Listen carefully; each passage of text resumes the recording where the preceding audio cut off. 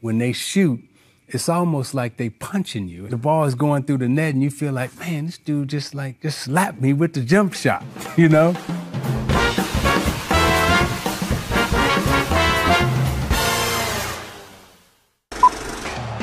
Lillard fading away the three. A deep fadeaway three.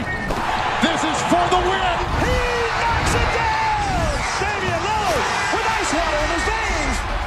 So when you talk about Damian Lillard, the first thing that you really notice about him is his shot making, the distance that he shoots, but also his ability to shoot off the bounce. That's the thing that really separates a lot of guys. Can you get your shot off the dribble with defense on you? People say, you know, that's one of the first time we've seen a player like this. Shoot from this distance with this type of range, this type of bounce.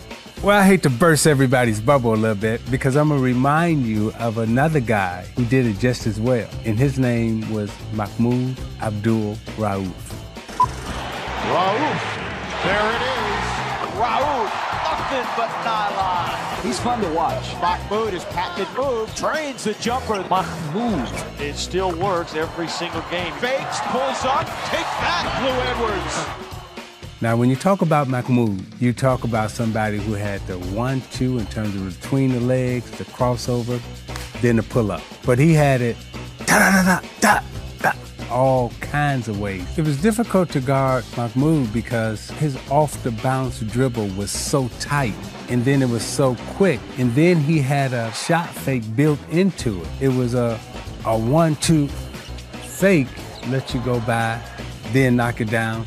And then it was a one two shot. And all of it was like in the same cadence and same rhythm. It's like a great pitcher throwing a fastball, and then he gives you the changeup with the same motion and you way out in front of the pitch. You know, instead of the pitch coming 100 miles an hour, now it's coming 82. Well, that was Mahmoud. Mahmoud's shot would be 100, and then he, and, and now it's 82, and you flying by, and he looking at you, and you going, Out to Mahmoud for three.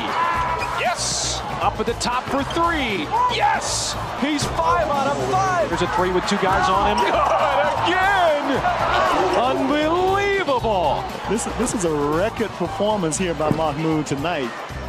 So Mahmoud is playing against John Stockton, one of the greatest guards to ever play, and Mahmoud gives Stockton 51.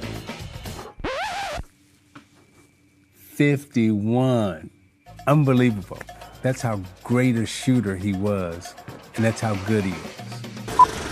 Rauf again from three. Lillard's going to pull three, and it's good. Pump fake, settles for the three. Bang! With the fake and the bucket. He hit another deuce. Two is good. Switches it home to give the Blazers a two-point lead. When I'm watching Lillard, the reason why, in terms of shooting the basketball off the dribble, he reminds me a lot of Mahmoud is because of the moxie that he has with his shot, the force that he has with his shot.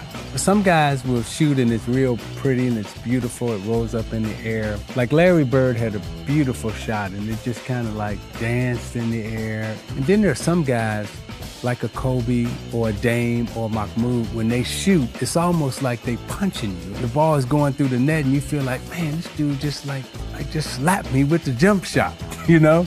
So I just want to remind everybody that this isn't the first time that you're seeing this type of action. What's old is new again, and Mahmoud is still new.